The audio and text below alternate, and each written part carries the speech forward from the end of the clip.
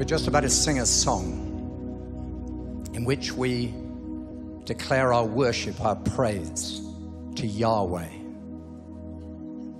And I want you to engage with understanding. I want you to understand what Yahweh means to us here tonight.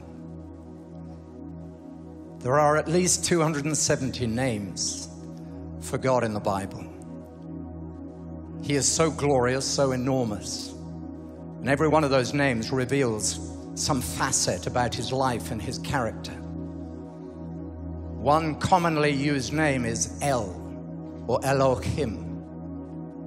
We find that in El Shaddai, God Almighty. We find it in Bethel, the house of God. We find it in Emmanuel, God with us. But Yahweh is different. Yahweh is much more personal. It's often translated Lord, and it's used when God made humanity. It's used when Abraham climbed Mount Moriah, the place where eventually the temple was built and the area in which our Lord Jesus Christ died. It was used as he set up the mountain in order to worship God. The first time worship is used, the word worship. And God provides a sacrifice and reveals himself as Yahweh. We often think of it as Jehovah. That is the Latin name for Yahweh. We find it in words like hallelujah, which means to celebrate God, our Lord. But the revelation reaches its culmination in Exodus chapter 3 when God reveals himself to his people.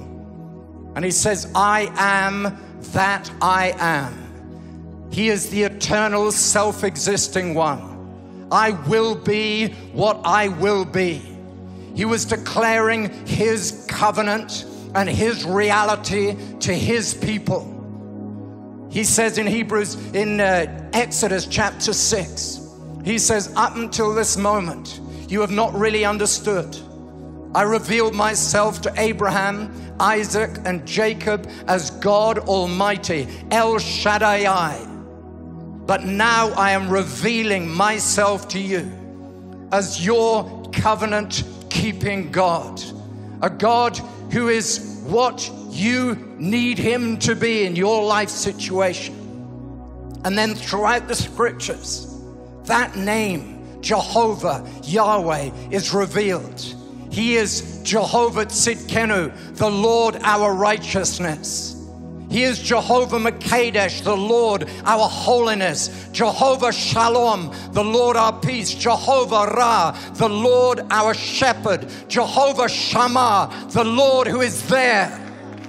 He is our covenant keeping God, the Lord of his people. He is Jehovah Jireh, the Lord, our provider. And then, Jesus Christ comes to earth. The name Jesus means Savior. The name Christ means Anointed One. He was the Messiah for which the world, for whom the world waited. But He wasn't just Jesus Christ, He was the Lord Jesus Christ. And in John chapter 8, when they were asking him where he had come from, he said this Before Abraham was, I am. He was declaring to them that he was Jehovah God. No wonder they took up stones to kill him because he was proclaiming that he was the covenant keeping God of his people. And tonight, he is the Lord who heals you.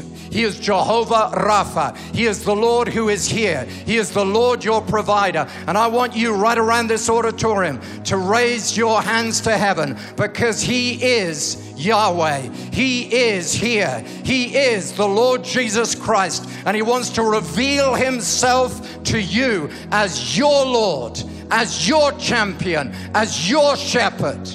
Let's raise our voice and raise our hands and worship Him.